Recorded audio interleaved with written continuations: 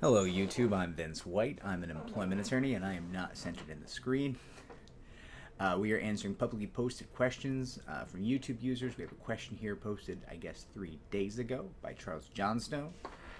Um, and it was posted on our video entitled, What are the main concerns about speaking to the press about discrimination or sexual harassment? And Charles goes on to ask, how many cases do you suppose never saw the light of day because if you get in a public lawsuit against a previous employer, they will remind you think about the public record you are creating. If there was only a trust fund set up to give people FU money, many more cases would come forward, I imagine. So, Charles, you are absolutely correct. Uh, we believe that even after the Me Too movement, we, before the Me Too movement, we believe that about 2% of victims of workplace sexual harassment and workplace discrimination um, were coming forward. After Me Too, we think that might have doubled, so 4% were coming forward. So, yes, you are correct. A huge percentage, 90 plus percent, we believe, uh, of victims of workplace sexual harassment, workplace discrimination are not reporting what they're experiencing. And that is a problem for society, but it's, you know, it's problem on so many levels because you can't fix the problem if you can't identify the problem, right? So I will say this: I've got a couple videos on the channel about quiet casing, right? How you can bring your case in certain jurisdictions on um, less public or non-public dockets, right? So listen, is there any perfect way to keep a case quiet? No, right? There's always going to be someone who could speak about it, right? You're going to be suing people there's going to be employers, there's going to be paralegals, there's going to be judges, arbitrators. You know, there's there's people who could break NDAs, people who can break confidentiality. There's no perfect way to keep something quiet, but there's an awful lot you can do to keep it from showing up in background checks, to keep it from showing up on Google. Right? There there are ways you can do these things and fight for your rights without destroying your career. This is a reality situation, right? People have to think about their career because no, almost no employment discrimination case or sexual harassment case is going to be so valuable that it will make up for losing the rest of your career. And I don't, I'm not trying to dissuade anyone from bringing a case, right? I mean, it's important that you bring your case, but you do have to stop and think about, okay, what is this going to do to the rest of my life? What is this going to do to my ability to earn and provide for myself and my family? Um, how will this impact me? And it's different from industry to industry and it's different from person to person, right? But it's an important conversation to have with yourself before you go forward. And I'll note this if your attorneys are just telling you, hey, we're going to file your case in court, this and that, um, and they're never talking to you about ways to keep things quiet, or if that's something you're interested in, Mm, I have some questions. Are they are they putting you first? Are they putting your well being first, or are they putting the value of the case first? And those two things are not necessarily the same, right? You you can come to your attorney and say, "Hey, I just want you to max the value of this case. I don't care what happens." That is great. Thank you for that marching instruction. We will do that for you. We will try our absolute best to make that happen. But that's probably not what most people want. Most people need to think of their well being first and then the case second, right?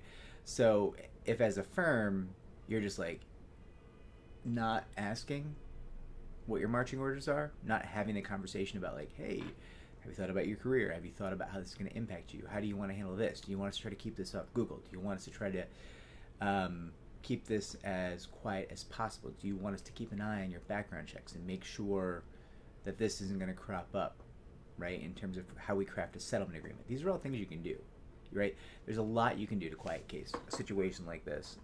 It's not perfect. It's never gonna be perfect. Human beings can speak, right? And you can say whatever you want. Uh, murder's legal.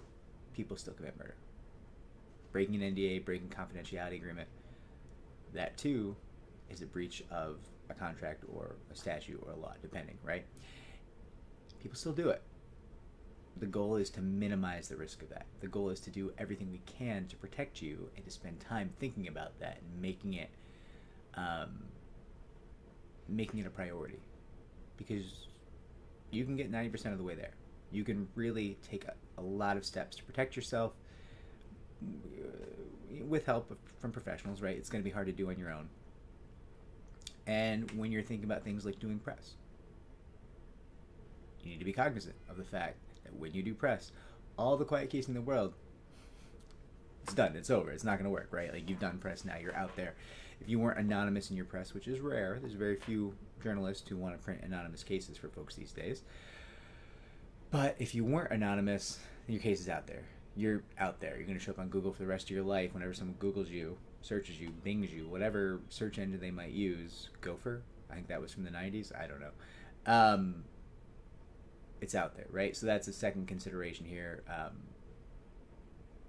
if you go public, you're never going to put that genie back in the bottle. That ship has sailed. Right? I think I'm mixing metaphors, but you get what I, you get my point. I think, right? So, Charles, you're absolutely correct. Um, people are routinely science, silenced by their fear of what could happen in the future, and my point here is there's a lot we can do to protect folks from that. A great deal we can do. There really is.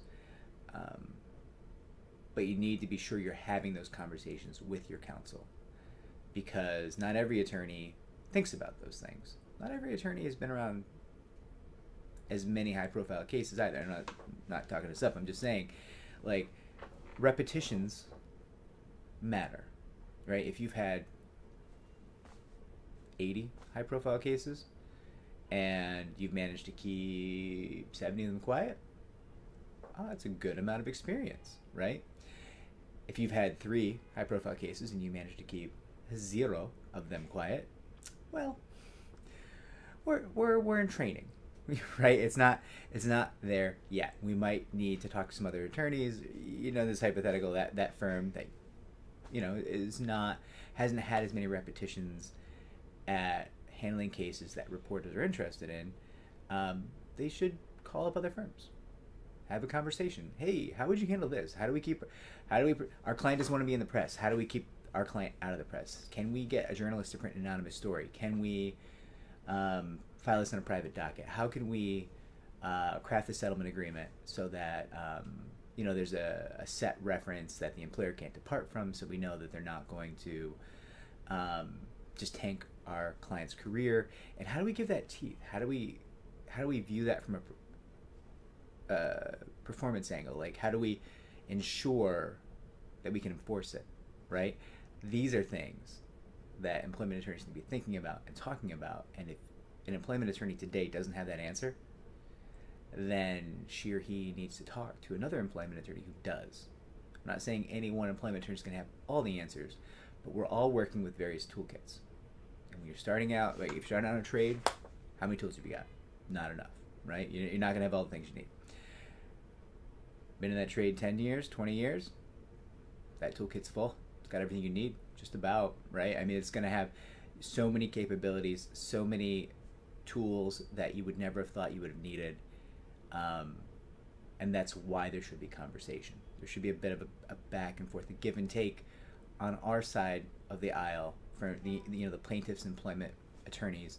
Uh, we need to be guiding each other, helping each other out, right? Because um, we're all working in silos, then none of us are benefiting from each other's knowledge. Anyways, I'm going way along. I'm rambling. I hope everyone's having a great day. If this was helpful, like and subscribe. Take care, everybody.